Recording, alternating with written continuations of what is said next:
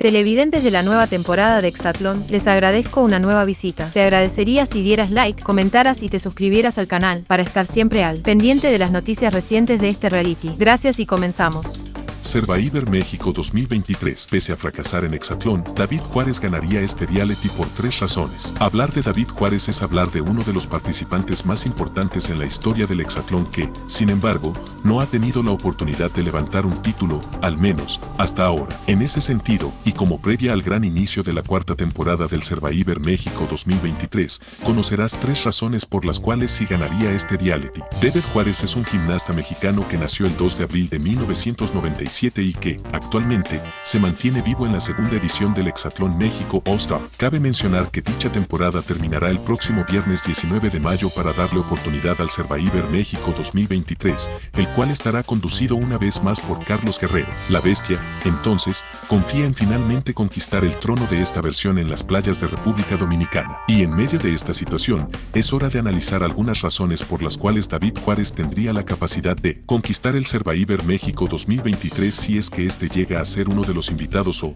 bien, si forma parte de alguna temporada en el futuro. Tres razones por las que David Juárez ganaría Survivor México 2023. Su apodo lo dice todo. ¿Por qué razón le dicen la bestia a David Juárez? En más de una ocasión, el gimnasta mexicano ha expresado la felicidad que le da el estar en la naturaleza. Uno de los conceptos que caracterizan al Survivor México 2023 por encima de otros realities como lo es, precisamente, el Hexatlón All-Star. Personalidad, David Juárez se ha caracterizado por ser una de las personas más nobles y carismáticas en la historia de este programa. Y considerando que el voto del público en el Survivor México 2023 será sumamente importante de la misma forma que ha ocurrido en el pasado, el apoyo de su podría ser vital en la búsqueda de un hipotético campeonato. Duelo de estrategias. A diferencia de lo que podría ocurrir con Coque o Elliot cuyo poderío físico es predominante, el reality de supervivencia se caracteriza por ser mucho más estratégico. Es precisamente aquí en donde la bestia podría tener ventajas sobre sus rivales y, lógicamente, sus compañeros del hexatlón. Por si fuera poco, el atleta azul también ha manifestado sus deseos de formar parte del Survivor México en el futuro, un hecho que podría beneficiarlo considerando las ganas que le pondría a este proyecto de principio a fin. ¿Tú qué opinas?